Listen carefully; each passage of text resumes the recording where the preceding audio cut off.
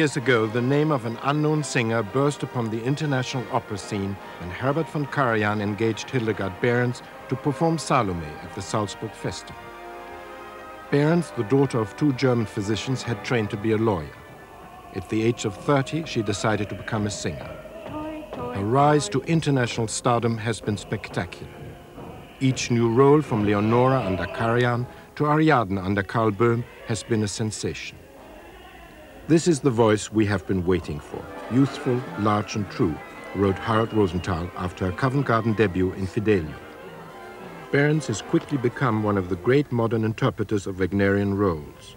Her extraordinary stage presence and her passionate involvement have made her one of the most spellbinding performers on the present-day opera stage. After her triumph as Brünnhilde in Bayreuth under Georg Solti, a critic wrote, Behrens Brünnhilde is the ring's palpitating center. Her appeal to Wotan, her greeting to the new dawn in Siegfried, and her noble expression of the cycle's meaning in the final scene are unforgettable. A very private person, the mother of a teenage son and a small daughter, Behrens has consistently refused to be drawn into the limelight. In this program, we follow her through three new opera productions. Alban Berg's Wozzeck at the Vienna State Opera under Claudio Abbado, Strauss Elektra at the Paris Opera under Seiji Ozawa, and the Munich Festival's Ring under Wolfgang Sawallisch. In the spring of 1987, Behrens prepared herself in Paris for one of the great roles of the 20th century opera repertoire, Elektra by Richard Strauss. The story of the vengeance of Orest and Elektra for the murder of their father, Agamemnon. The opera was directed by Hildegard Behrens' husband, the American Seth Schneidman. And uh, before the cut, what was it? The, the, the selige Welt. Uh, what was it? Du Brüder, Tal. I go a little slow. Oh, yeah, then you were a little song. Da, da, la la la, ta la la la, und, und was schaust du ängstlich um dich? Sprich doch. Sprich. Ah, no. Oh, never Sprich zu mir. Mir. Sprich, ta, ta, ta, ta, ta, ta, ta. Am ganzen Leib. Ja. Yeah, then it's okay. What happened now? Finish this one? No, no, now we're gonna do the, we're gonna go back to the point where the, the, they recognize Arrest, and she takes off the helmet. Aha. Orestes liebt. Yeah. du dich regst, verrätst du ihn. Das ist der Frei, wo ist der? Er ist unversehrt wie ich. So rett ihn doch, bevor sie ihn erwürgen. Meines Vaters Leichnam, dazu kam ich her. Bist denn du? Okay, now, as soon as she Now says they there's a spin to do, they've got to be here, right? Yeah. Okay.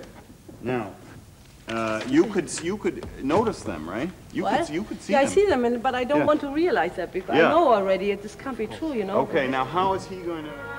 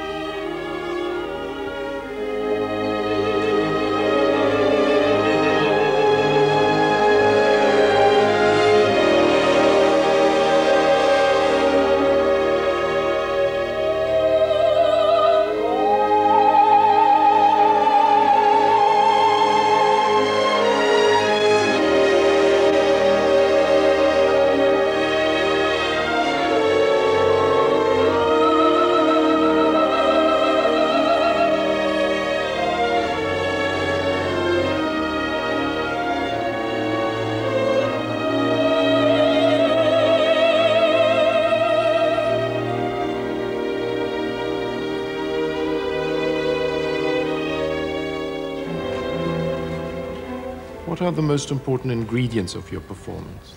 What would you ultimately like to achieve? That I become a medium. And that I get myself out of the way, my, my private ego out of the way, and become the most transparent uh, instrument for what this role has to, to be. But it's also quite a frightening task because if one becomes a medium for these gigantic figures, that doesn't frighten you sometimes a little bit? It does, yes, it does, and, and um, I've especially experienced that with Brunhild and Götterdämmerung second act. It's frightening, yes, it's, that's true. And on the other hand, when you say gigantic in effort and um, mental and physical impact, that when you are on the on the point, it at the same time becomes kind of becomes a kind of uh, weightless or transparent, and the the energy comes as you spend it. Grab zusammen und that's too fast, Seiji. I thought you wanted it a little. s- I thought you wanted it a little slower. Okay, okay, yeah. I couldn't hear very well.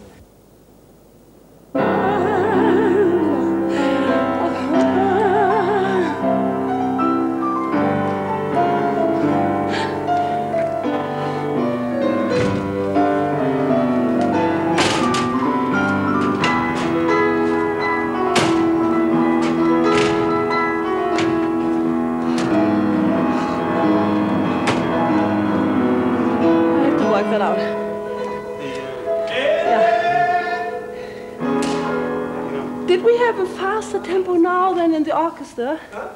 Is that a faster tempo? Here, so can- Faster than orchestra? And then the orchestra? Maybe. Because then with the movement, I see. maybe then I need a Maybe little. orchestra we did a little bit slow, not too much slow. That la ta ra ta ta ra ta ta ra ta. This is the tempo. Yeah. We did a little faster. When I can make these movements, I need the time. A little bit. Yeah, I think so. Yeah. I love Hildegard uh, as a person, also as a musician, musicianship, I should say. Uh, I worked with her first Fidelio, Salome, and the Erwartung, and now the Elektra. And I saw her Tosca. Um, like uh, the, his, her uh, approach to the music. You see, I'm not talking. Uh, uh, I'm not a specialist for the opera, so I, I'm not the person to tell you. But uh, what I know is, you know, the singer lives their own life.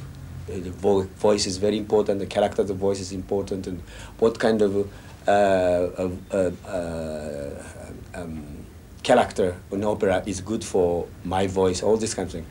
She has different approach. She comes first. Then what composer write, notes, words, character, and she goes, just jump into that character.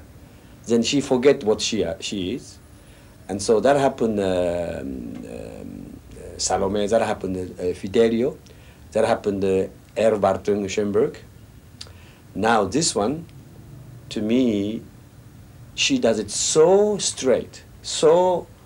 Um, she has guts to approach this Strauss so directly and forget about the danger of voice, forget about, about the danger of uh, um, missing that note. She just go in music. So it's like actually she's like an instrumentalist, you know?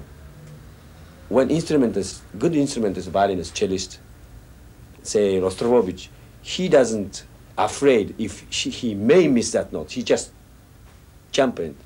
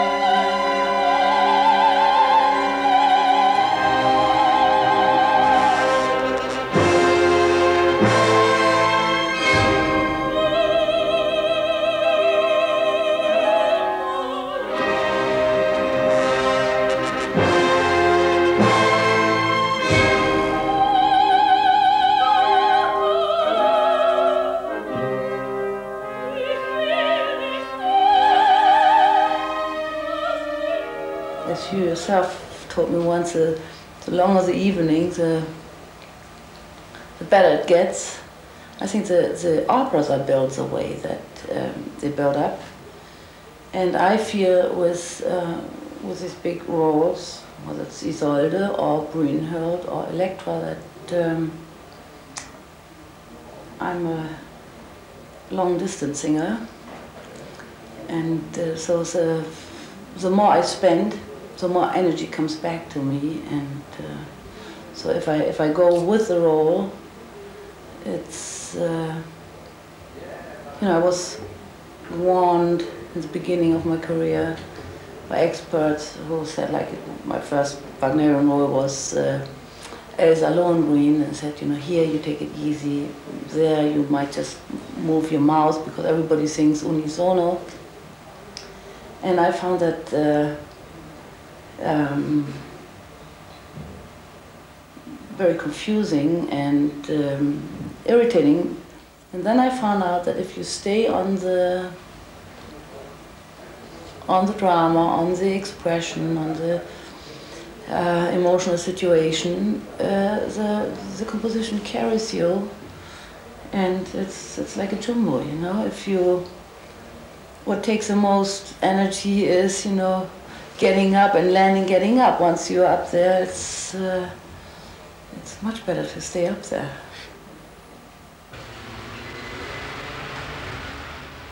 After her triumph in Paris, Behrens went to Vienna to prepare the role of Marie in Alban Berg's powerful music drama Wozzeck, in which the composer expressed his profound compassion for the poor. Behrens gave a disturbing performance as Wozzeck's unfaithful wife. The opera was directed by Adolf Dresen and conducted by Claudio Abbado.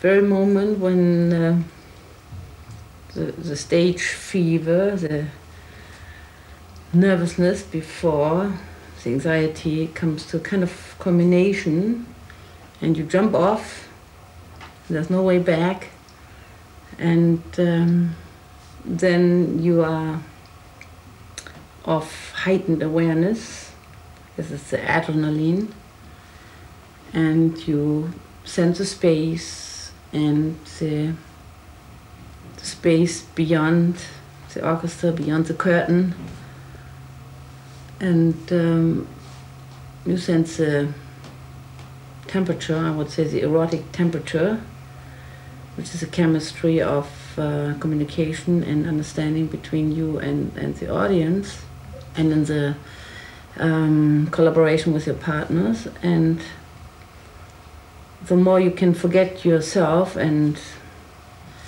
factors that uh, uh, have nothing to do with the thing itself, the, the more temperature you create and I experience that it comes back from your partners, it comes back from the orchestra, from the conductor, from, from the audience, and and uh, you start climbing the, the pyramids. Is this a very erotic experience? Very erotic, in the sense of, I guess, of of uh, love and uh, being on mission for one thing and helping each other and enjoying the thing with each other. Yes. I got the feeling that while the days go on, you become more and more the part, even off stage. Yeah, that's. Um, you know, people have told me that in a certain role, I look small and um, slim, or friends who watch me uh, getting ready for performance in my dressing room, they tell me that I somehow change into what they think is my idea of the role. When I prepare for rehearsals, I dress myself in the direction what I think my outer appearance should should look like. And uh, that is probably already the first step into a kind of identification. Because I see myself when I do things, I see them sometimes from, not sometimes, always, also at the same time from the outside. When I did uh, Tristan in, in Munich, the image of myself was uh, with Tristan was a Pietà, was uh, Madonna. And when I saw photos uh, from the final dress, whatever, I thought that my hands looked the way I wanted them to, to look. I think if you experience um, those uh, or whatever, you know, transcendental uh, experiences, you're astonished every single time they happen. And altogether, for me, it's uh, it's not astonishing at all. You're not frightened? No, no, not frightened. No, I, I, I enrich myself and I, I enjoy them. But I think that the, if a person in panic, frightened to death, uh, that the adrenaline enables you to jump over a three meter high wall. Nobody knows how you got, but you did get over.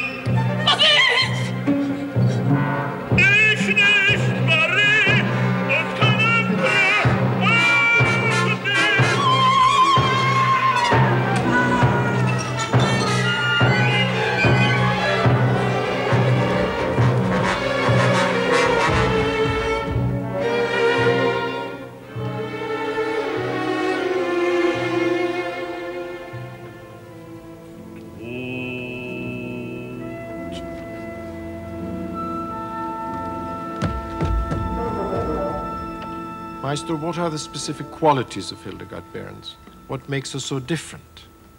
You know, there are many aspects. I think Hildegard, when first when she comes when she arrives for the first year, she's always very well prepared, very professional, and she's a great artist who knows exactly what she's doing. Very intelligent. So every time I think she knows the characterization of the personage.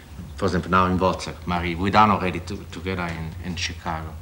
And every time she find new thing, we find new things together. She's playing on, on stage like a great actress.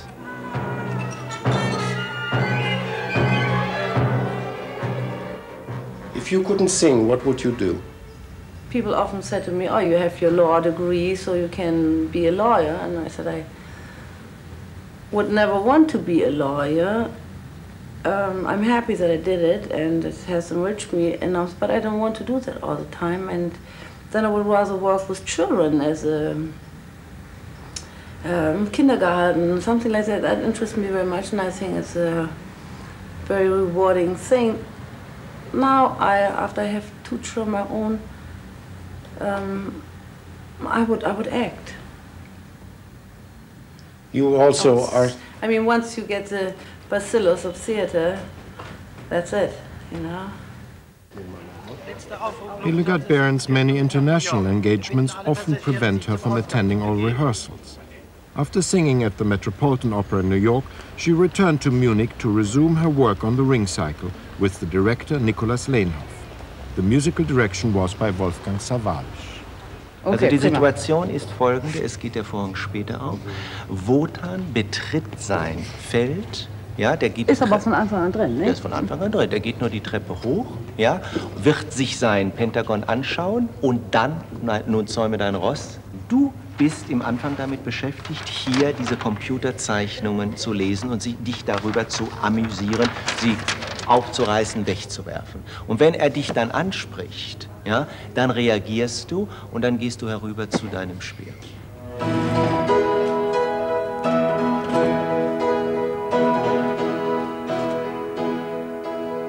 Much of the first day's piano rehearsal is spent going through the scenes and marking the positions.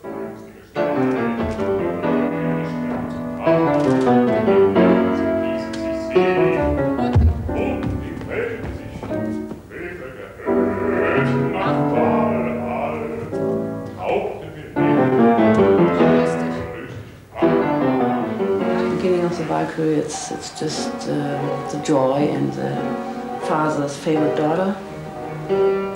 In the Valkyrie, it's uh, the teenager, uh, like Mozart's Cherubino, like in between female and uh, masculine.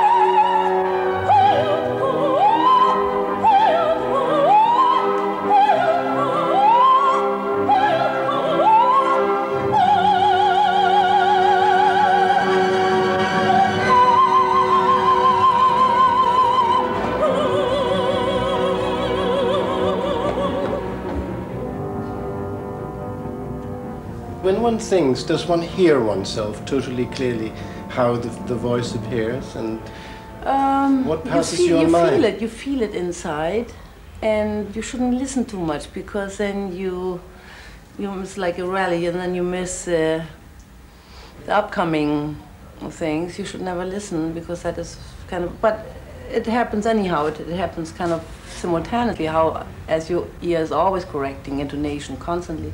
Are you sometimes surprised by what comes out? Sometimes I'm surprised, but uh, I think that my environment is more surprised than I am, and and uh, I have I have got a, gotten a lot of uh, advice from colleagues, from experienced colleagues. Don't use too much chest voice. And I'm sorry, I have to do what I have to do, and uh, the Belka- I am a great. Um, what do you say, uh, Anhänger, um, Yes, a great follower. follower of bel canto, of course, and I try to. Actually, I try to sing roles like Salome, Erwartung Schönberg, Marie Wozzeck, the most bel cantos that possible.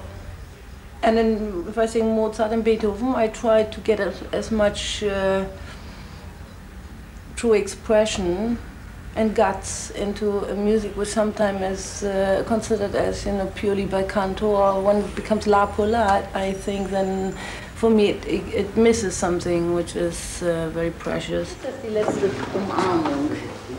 Ich habe sie jetzt so. Yeah. It's better if you come into me, but that's what we did it last time. You come into me like that, and then I'm on top of you, and then when I put you away, Um, um den Leib. Ist das besser? when I come like this, you just. Mhm. Do that. Ja, da wird so ein Lobster. Die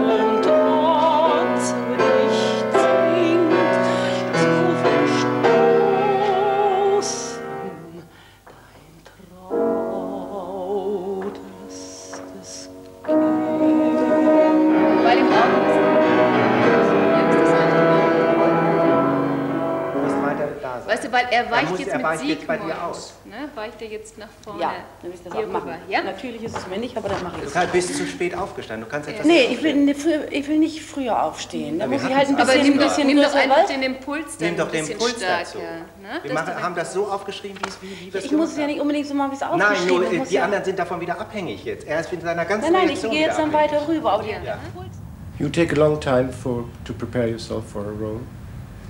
It depends. I, I like to do that, but I, I uh, often don't have the time. If I have to, or I think I have to, I can learn very fast. I don't like it so much because I like it if it's really digested and um, becomes part of yourself before you start doing it, even rehearsals.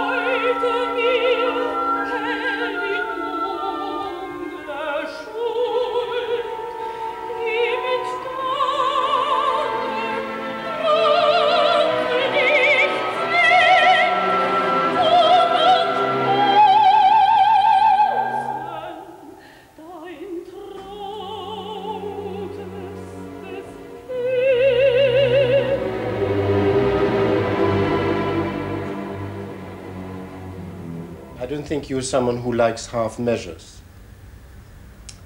As an actress in life, as a singer. I always uh, try to expand, expand. The more you grow, the more you want to grow. That's, I mean, and so far, I mean, I, I try to to reach, uh, or to reach, if possible, the limits of my actual capacity. And then I find out that once that is established, then I want more. You know? Sometimes it must appear to you like your, your professional life is like a miracle. I mean, step It to is. step. It is, and it's a huge luxury, I think, to do what you really love to do, and uh, I mean to to live these roles. As you said, it's uh, with those characters like Elektra. It's, it's very scary, and um, but it's it's such a. I mean, you live so many lives.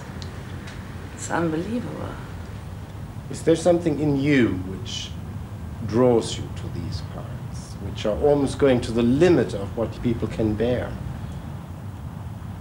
Absolutely. That's like a catharsis, you know. It's by go- going through it in, in the truthful context. That's why we need art. That's why we need theater, because it washes our own daily and lasting sufferings out, and we can we can see ourselves in the mirror and. Um, there's that beauty and that truth which shine, shines through. I've never seen any singer who was able to project that intensively from the inside without making any kind of uh, broader effect, you know, is so moving, so touching. Here, with this complexity of this character in, in, in uh, Brünnhilde, that's what keeps Hildegard going. She can really go into it and see the richness of this character.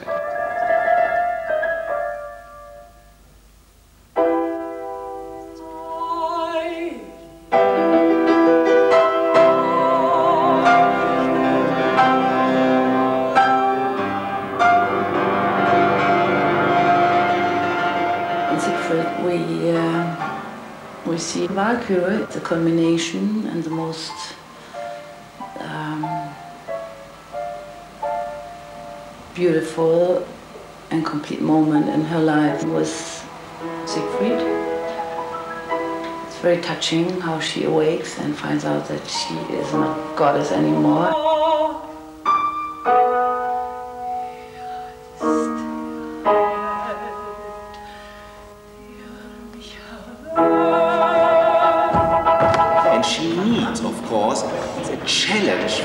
Needs a dialogue. When you talk with her before you start your concept and get what she feels, it's absolutely a dream then to transform both ideas because it's the most beautiful give and take you can imagine. Aus dem Dunkel sieh, sonnenhell leuchtet der Tag. Ja? So Ja, schön. Kannst du, das, du kannst es nur so machen, dass wenn er dich zieht, ja, so ein bisschen die Götterdämmerung, weil sie wurde willenlos. Ein Hallo, dass du ein bisschen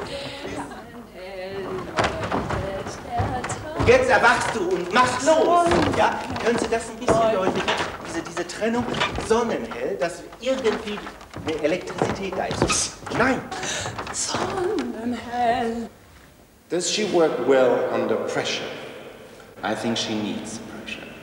She needs pressure. Um, she likes to, to, to work, I mean, to rehearse, but then comes a certain moment, you know, where she feels we are circling, and she is circling, and you must feel this moment.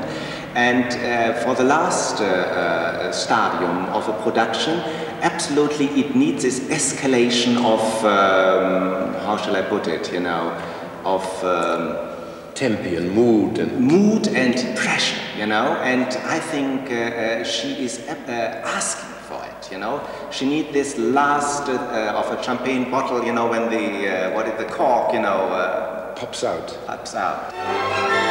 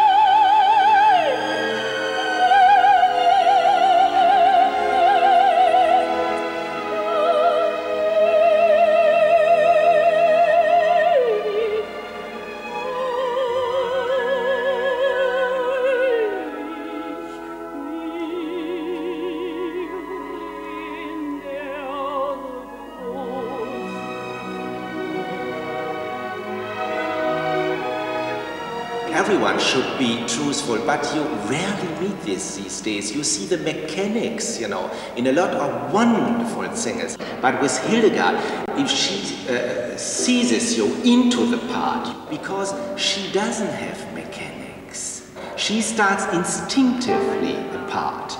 In rehearsals, where she is absolutely marking, not singing, the way she uh, transforms uh, everyone, I mean us sitting there, has something so truthful.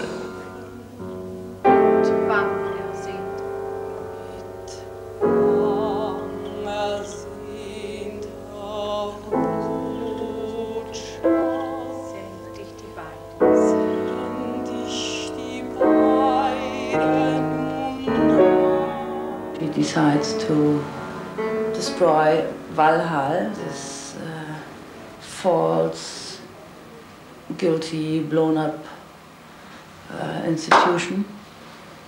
And she gives the ring, which is a symbol for uh, strive for power, back to the, the elements and with her own sacrifice to give the um, possibility of a new beginning.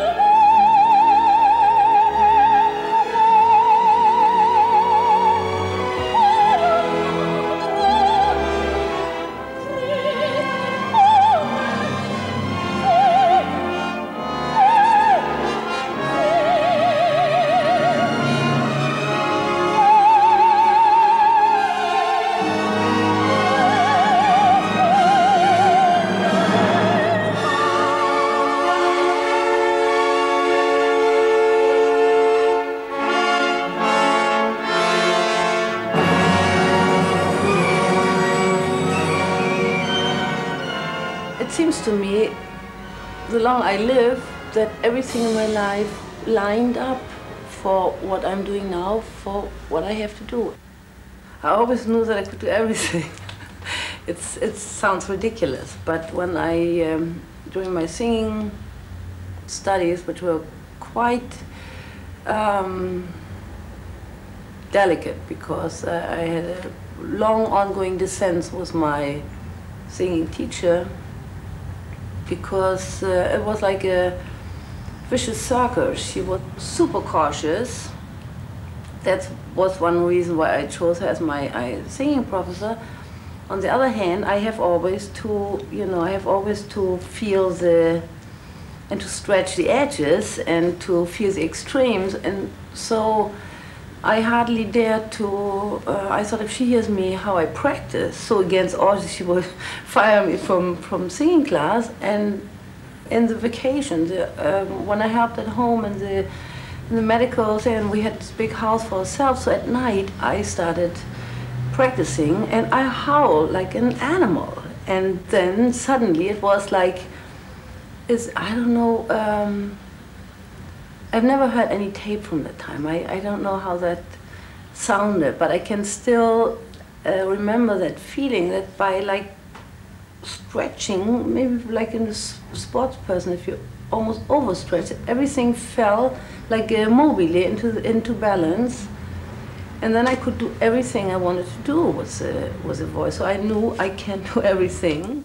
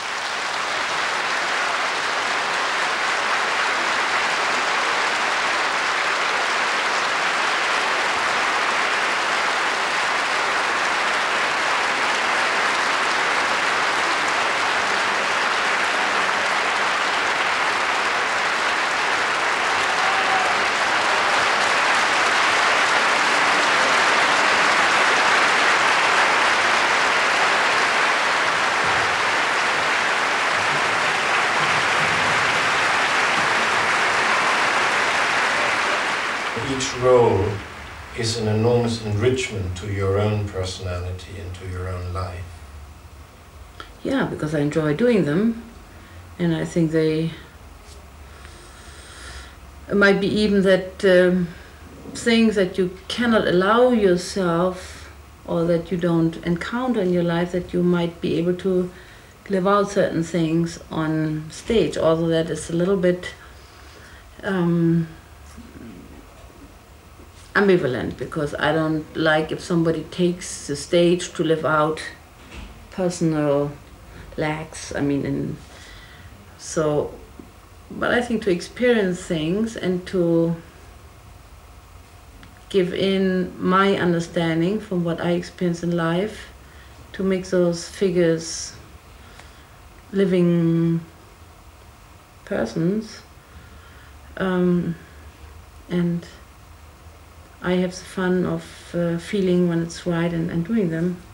So I enrich myself and I enrich one, well, I do Tosca or um, or Wozzeck, and I find uh, similarities in their situations and feelings, since everything in opera is about love and hate and jealousy and death and fright and, and pleasure. I mean, it's just always the, the basic things, anyhow, that we're dealing with.